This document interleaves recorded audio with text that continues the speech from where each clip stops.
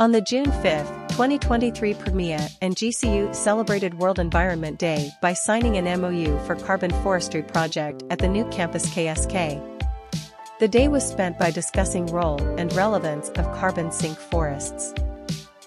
uh, इसकी जो specific theme है वो है प्री प्लास्टिक पोल्यूशन उसके लिए अगर आप इस आफ्टरनून में ठहरेंगे तो एक बड़ा हम मेजर अनाउंसमेंट करने वाले हैं कि आज के बाद से गवर्नमेंट कॉलेज में ये प्लास्टिक बॉटल जो है कभी नहीं आएँगी।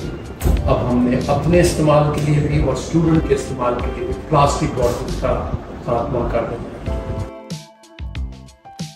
कि हम लोग ये नहीं चाहते कि हम लोग सिर्फ़ फंड दे रहे हैं काम कर रहे हैं कि नहीं जब तक हम लोग संडे को आगे वहाँ पे पानी भी दें देखें कि क्या हो रहा है कैसे हो रहा है।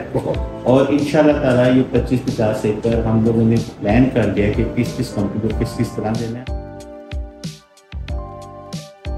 तो मुझे ये लगता है कि जब अल्लाह ताला मदद करे और इसमें खैर की बात हो जो सदका जारिया की बात है जो सुनत नबी वसल्लम की बात है तो हम नैरेटिव ये रखें बाकी साइंटिफिक चीज़ें अलाइड हैं। मैं ये कहता हूँ जिस तरह आप देखें ट्री जो है वो कार्बन जब एब्जॉर्ब करता है तो ऑक्सीजन बाय प्रोडक्ट है। लेकिन ऑक्सीजन हमारे लिए मेन प्रोडक्ट है। तो अगर हम ये सोचें कि ये इसकी बाय प्रोडक्ट है साइंटिफिक सारी चीज़ें असल प्रोडक्ट सदका जा रही है। तो हमारा नैरेटिव चेंज हो जाएगा और हमें इसका एक वो जो सुकून मिलेगा और जो पूरी एक नैरेटिव हम वो कह रहे हैं ना कि प्रेसिडेंट बनाना है। तो लोग हमें देख के पूरे पाकिस्तान में भी इफेक्टिवली काम कर सकते अ, जैसे सर ने कहा कि प्लास्टिक पोल्यूशन के लिए तो एक्शन ले रहे हैं और टोटली तौर पर इसको बैन करने जा रहे हैं।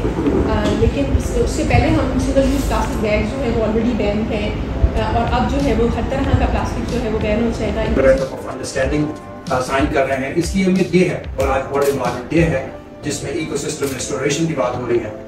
ब्रिक्रिया के ताबुन से हम बहुत से ऐसे काम कर रहे होंगे अपने मेन कैंपस में, अपने नए कैंपस में कि जिससे हमारी इन्वायरमेंट में बेहतरी आएगी, हमारी डीकार्बनाइजेशन की जो तहरीक है, उसमें ये लोग बहुत अच्छे तरीके से कंट्रीब्यूट करेंगे।